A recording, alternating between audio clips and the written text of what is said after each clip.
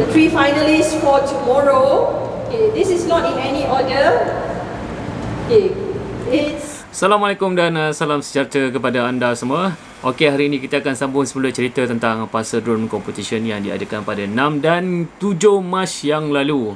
Di mana hari ini saya akan ceritakan tentang hari semi final yang diadakan pada 6 Mac, hari Rabu, hari Rabu ya, hari Rabu.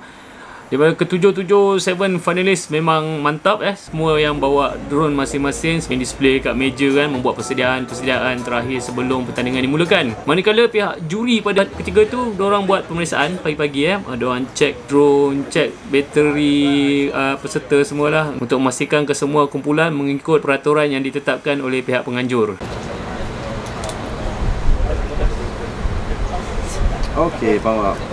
Masa pemeriksaan tu bila sampai turn uh, kami, pihak juri ada bertanyakan kepada saya kenapa guna VTX power rendah sebab diorang check cuma ada 188 mW saja output untuk VTX.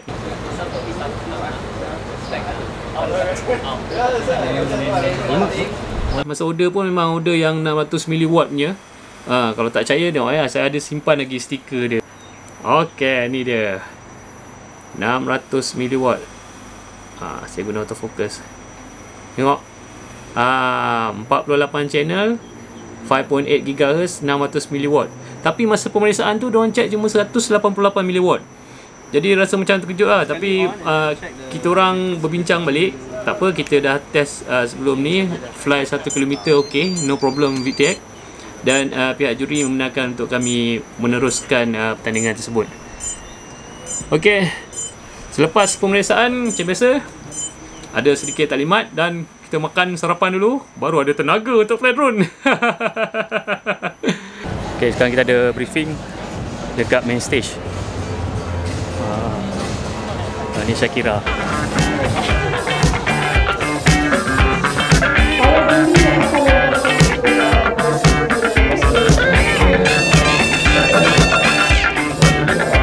Kita akan ambil gambar kat stage. Oh, kena salam lah.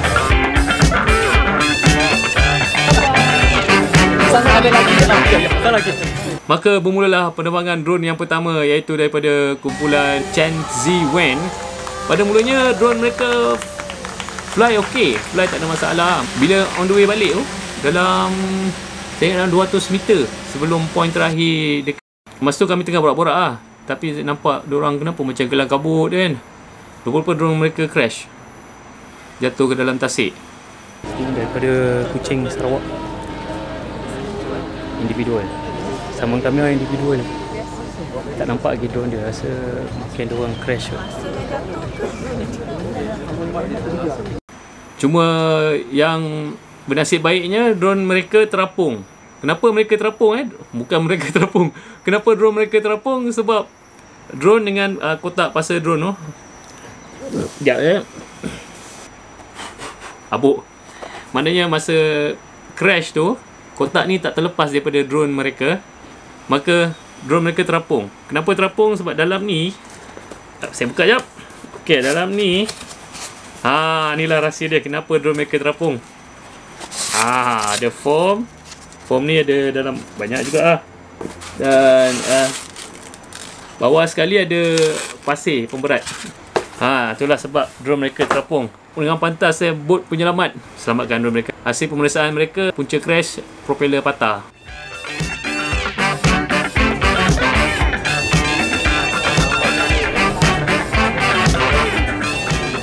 Okey, kumpulan yang kedua iaitu kumpulan kami. berdebar, semakin berdebar sebab dah ya, first first group dah jatuh. Jadi kami macam alamak, boleh ke ni? Boleh ke ni? Jatuh dalam tasik habis ni. Sebelum tu eh uh, masa kumpulan pertama ada masalah telemetri, susah nak connect. Masa kami juga memang memang ada masalah. Padahal sebelum ni connect okey je bila ada pertandingan tu. Masa nak connect daripada dia ada sediakan kemah, kemah untuk uh, peserta setup ground station dan uh, dengan launching pad jarak dia dalam tak sampai 100 meter pun. Tapi tak dapat connect. Jadi saya terpaksa pergi dekat dengan drone untuk dapatkan connection telemetry. 433 dan Alhamdulillah drone kami berjaya terbang pergi dan balik dengan penuh gaya dan aksi seperti seperti apa lah. Suka hati korang lah nak, nak ni nak bayangkan seperti apa. Tapi memang okey lah Alhamdulillah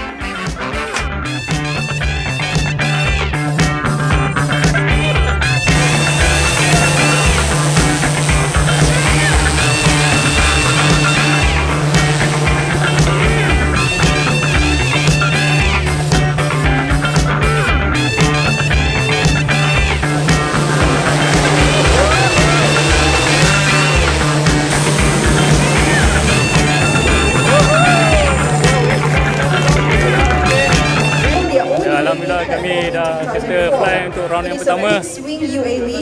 Okay, tahniah juga kepada kumpulan-kumpulan lain berjaya menghabiskan uh, pusingan pertama. Baru hari ni test.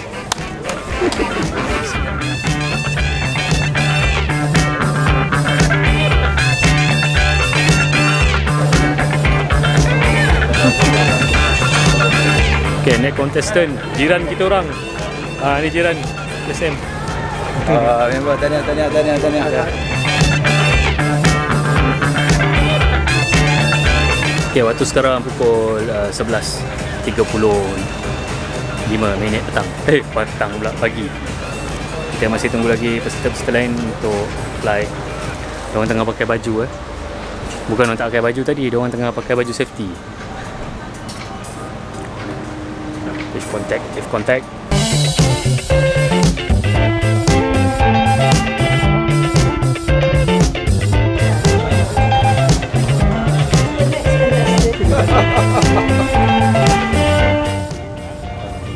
Masya, masya. Okey, kita terima, terima.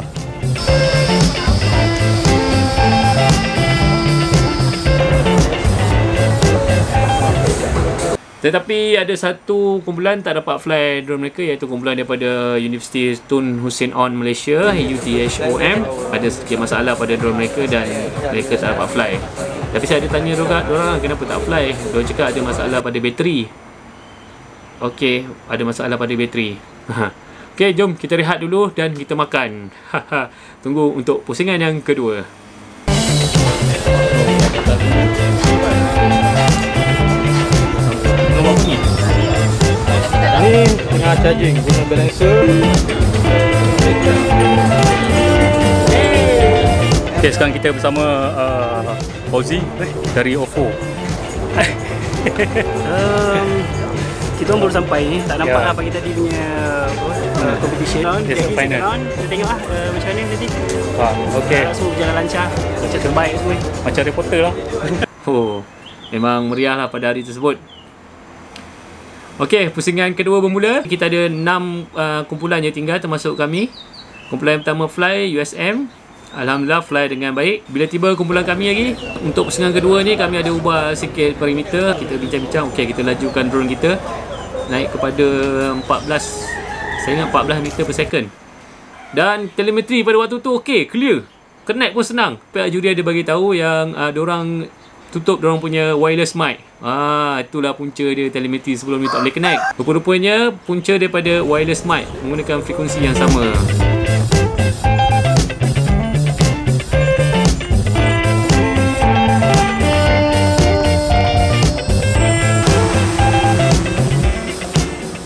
Tapi ha seperti sebelum ni saya cakap VTX kami ada problem kan. Ayam saya lagi. Masa nak fly tu okey, video nampak bila take off dalam nak jalan dalam tak sampai 50 meter, woof, blank out terus. Saya hanya bergantung pada radio. Na- Nasro dan Abang Mat hanya bergantung pada mission planner. Pihak juri juga begitu. Tengok pada kita punya mission planner lah. Tengok pergerakan drone betul, uh, altitude semua okey. Alhamdulillah uh, drone kami pada ketika tu memang laju lah balik. Memang wow ini lagi bergaya kan. Masa balik tu dia ada brake sikit. Oh.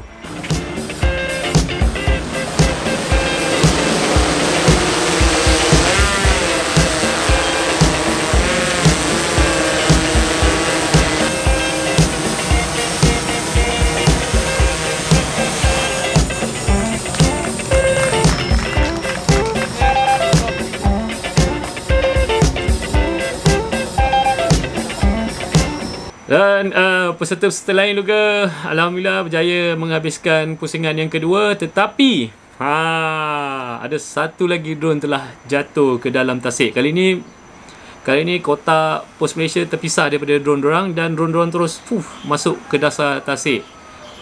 Dan bot penyelamat memang tak dapat menyelamat pada ketika itu sebab pertandingan sedang berjalan. Jadi diorang tak boleh ambil dulu kerana diorang kena fokus untuk uh, drone-drone yang sedang bertanding. Boleh sebut ke?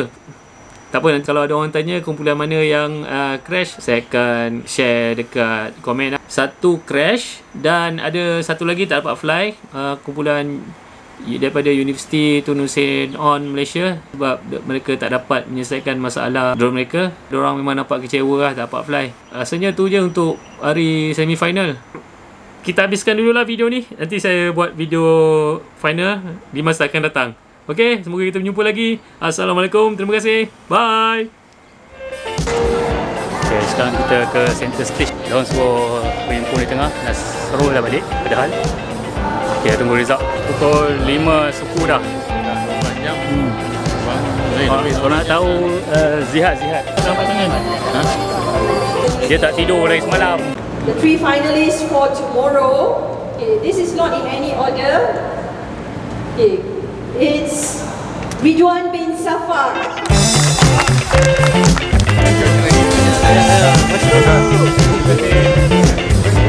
Dah Kami terpilih Untuk ke final Top 3 uh, Buat saya Yang banyak bagi sokongan Itu Abang Mat Tengah deal untuk Cari VTX dengan Tena Abang Mat Harap-harap dapat lah VTX Kita kena tukar VTX lah untuk esok Yeah, congratulations. Congratulations for making it. You stand a chance to win twenty-five thousand dollars. Wow, There's a lot that's a lot.